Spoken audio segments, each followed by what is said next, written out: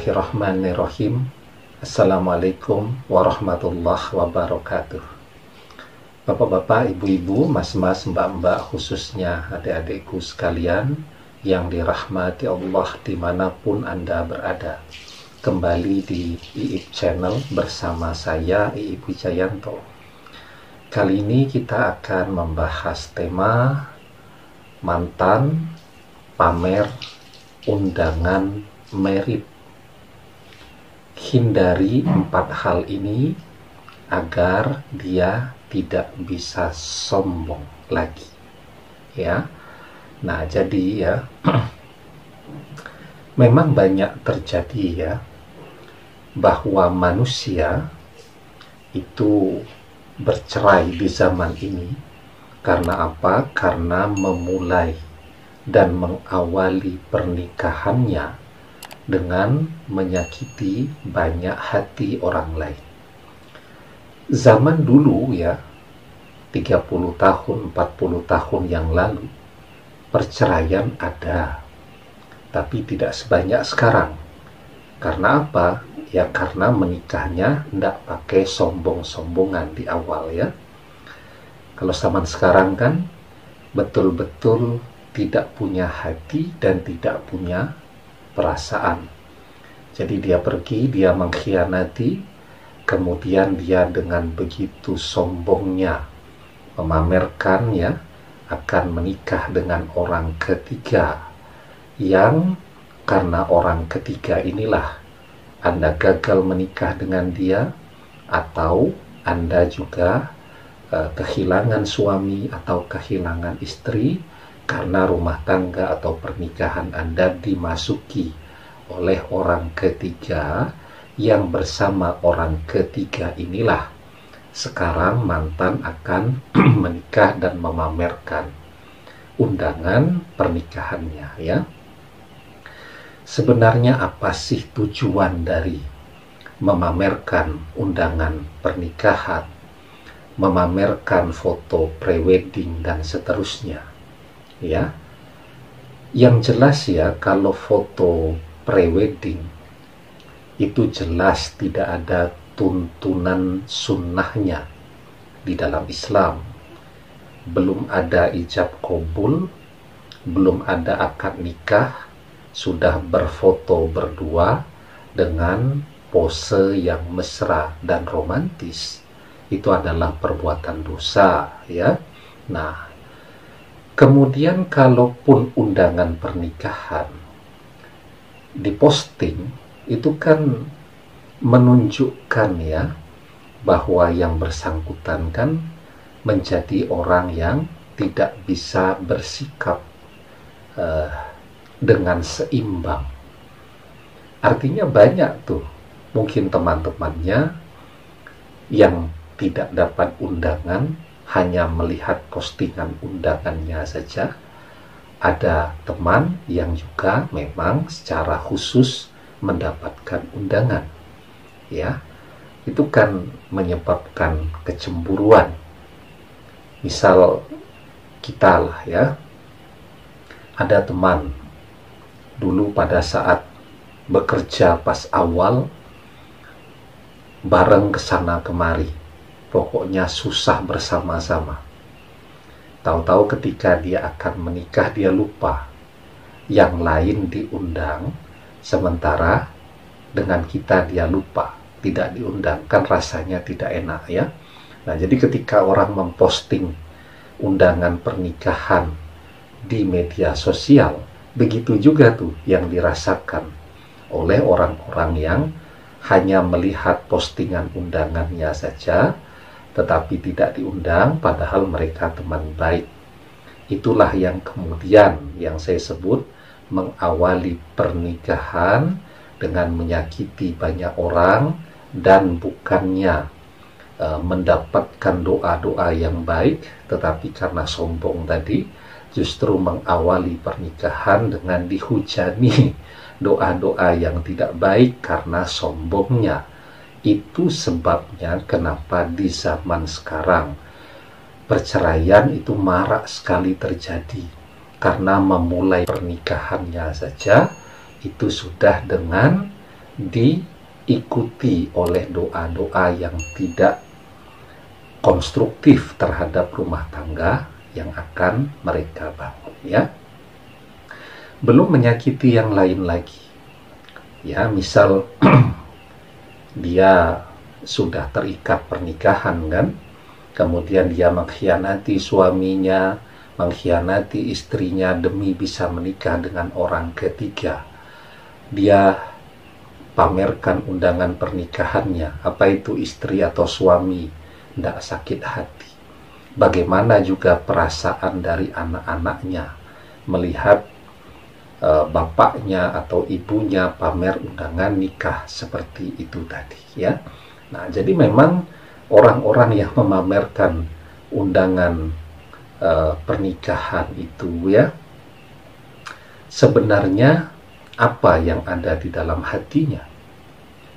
Kalau kemudian untuk mencapai sakinah ya cukup sampaikan saja undangannya ke masing-masing orang yang akan diundang ya sehingga yang tidak diundang tidak merasa cemburu tapi kan dia sengaja memposting karena apa? Karena tidak mungkin kirim undangan ke kita juga kan? Tapi dia tentu pengen kita tahu bahwa dia berhasil nih akan bersanding dengan orang ketiga yang karena orang ketiga inilah kita berpisah dengan dia. Nah, tentu Anda akan sedih banget tuh, ya, akan stres dan seterusnya. Tadi mengetahui hal yang demikian maka ada empat hal yang perlu Anda hindari agar tidak stres, agar tidak sedih ya. Karena kalau sudah stres, sedih itu kan akan mempengaruhi aspek-aspek kehidupan Anda yang lain. Bekerja menjadi tidak fokus ya. Kreativitas Anda dalam kerja akan hilang.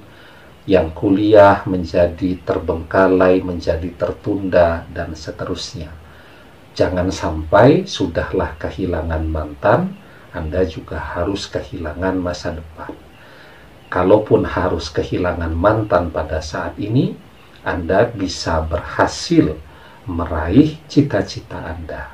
Karena dengan bekal cita-cita itulah Anda bisa mendapatkan seseorang yang lebih baik daripada mantan Anda, ya.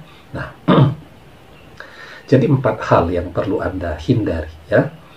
Yang pertama adalah berhenti ya atau menghindari melihat sesuatu yang tidak perlu Anda lihat. Nah, jadi kebiasaan untuk terus ya mengintip akun-akun media sosial mantan itulah yang kemudian membuat mantan semakin happy, semakin bahagia, dan semakin sombong. Pada sisi yang lain, Anda semakin sedih, semakin stres, semakin terpuruk. Maka yang harus Anda hindari, hindari melihat hal-hal yang tidak perlu. Ya, yakni melihat postingan di media sosial mantan Anda. Kemudian ya, yang kedua, Anda juga harus menghindari ya ngobrol ngomong hal-hal yang tidak perlu ya kenapa karena dengan ngobrol ngomong hal-hal yang tidak perlu memposting sesuatu ya yang menunjukkan bahwa Anda bersedih dan seterusnya itu akan membuat mantan semakin happy. Karena dia tahu oh ini ternyata postingan dia Anda lihat sehingga kebahagiaannya menjadi berlipat ganda jadi tambah sombong ya. Dan kalau perlu komunikasi dengan teman-teman atau sahabat-sahabat yang mengenal baik Anda dan juga mengenal baik mantan dikurangi dan dihindari dulu daripada dapat pertanyaan yang melelahkan. Itu kan mesti dapat pertanyaan terus tuh. Mantanmu mau nikah loh. Terus kamu bagaimana? Kamu mau datang atau tidak? Ya. Nah, jadi hindari membicarakan hal-hal yang tidak penting seperti ini ya. Nah, kemudian yang ketiga ya, menghindari bergaul dengan orang-orang ya yang akan menerbitkan atau memunculkan kesedihan di dalam hati Anda. Ya. Jadi bertemu dengan teman-teman ya yang kemudian akan membanding-bandingkan antara Anda dengan mantan. Itu juga harus Anda hindari sampai segala sesuatunya sudah dilupakan. Jadi jangan khawatir ya memori kita itu dengan hal-hal yang begini itu tidak panjang. Jadi kalau dia sudah menikah nanti paling lewat satu dua bulan juga orang sudah ganti topik diskusi. Nah Anda harus bersabar tuh untuk menghindari jangan sampai Anda dibanding-bandingkan karena dibanding-bandingkan dalam momentum seperti ini itu akan merusak suasana hati kita ya. Nah yang keempat ya, uh, orang stres itu biasanya jadi banyak makan. Padahal banyak makan itu juga uh, akan membuat ya satu tidak sehat, terlalu banyak makan, jadi stres pelariannya jadi makan makan makan terus, jadi obesitas malah, ya. Nanti kalau tidak bisa direm, yang rugi kita juga ke depannya kan jadi muncul berbagai penyakit-penyakit. Karena itu tetap berusaha hidup dengan pola hidup yang biasa. Ya, caranya bagaimana? Ya tiga tadi hatinya tetap harus dikondisikan yang baik, yang tenang. Ya, nah, jadi Imam Ibnul Qayyim Al-Jauziyah ya di dalam kitab Bada'i al-Fawaid beliau mengajarkan imsaku fudulin nazari wal kalami wa ta'ami wa mukhallatatin nas fa inna syaitana innama yatasallatu ala ibni adam wa yanalu minhu kharadahu min hazihil abwabil arba'ah berhenti dari pandangan yang tidak terjaga, kemudian banyak bicara, kemudian banyak makan, kemudian banyak bergaul.